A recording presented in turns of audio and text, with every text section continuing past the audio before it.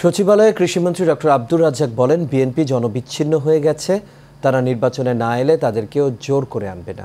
এ সময় শাহজাহান ওমর প্রসঙ্গে বলেন, তিনি শান্তির পক্ষে অবস্থান নিয়েছেন, তাই জামিন পেয়েছেন। এদিকে তথ্যমন্ত্রী ডক্টর হাসান মাহমুদ দাবি করেন, বিএনপির কম্বলের তলা থেকে তাদের নেতাকর্মীরা বেরিয়ে যাচ্ছে।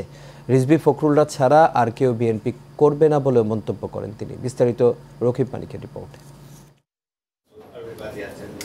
সচিবালয়ে আর্জেন্টিনার প্রতিনিধি দলের সঙ্গে কৃষি বিষয়ে চুক্তি স্বাক্ষর অনুষ্ঠানে কৃষিমন্ত্রী ডক্টর আব্দুর রাজ্জাক বলেন সরকার অবাধ ও শান্তিপূর্ণ নির্বাচনে এগিয়ে যাচ্ছে।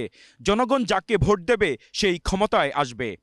আমাদের জন্য চ্যালেঞ্জ হলো সকলের অংশগ্রহণ ম্যাক্সিমাম বেশি সংখ্যক মানুষের অংশগ্রহণের মাধ্যমে একটা সুন্দর সুষ্ঠু নির্বাচন করা।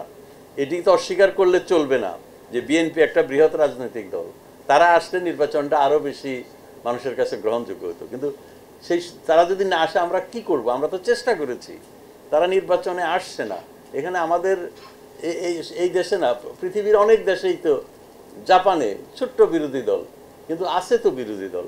কাজে আমাদের তো এখানে কিছু করার ছিল না। আমরা তো চেষ্টা করেছি। তারা না আসলে আমরা তাদেরকে তো জোর করে নির্বাচনে আনতে পারি না। এদিকে তথ্য ও সম্প্রচার মন্ত্রী ডক্টর হাসান মাহমুদ বলেন, বিএনপি থেকে নেতাকর্মীরা পালিয়ে যাচ্ছে। তাদের কোনো লোকবল নেই। তারা নির্বাচনে না এলে কিছু যায় আসে না। জনগণ ব্যাপকভাবে নির্বাচনে অংশগ্রহণ করবে। এখন একটি দল নির্বাচনে না আসলে সেই নির্বাচন গ্রহণযোগ্য হবে না। এমন তো সংবিধানেও লেখা নাই, পৃথিবীর কোনো আইনেও লেখা নাই। বাংলাদেশে বহু নির্বাচন হয়েছে, বহু দল নির্বাচনে অংশগ্রহণ করে নাই।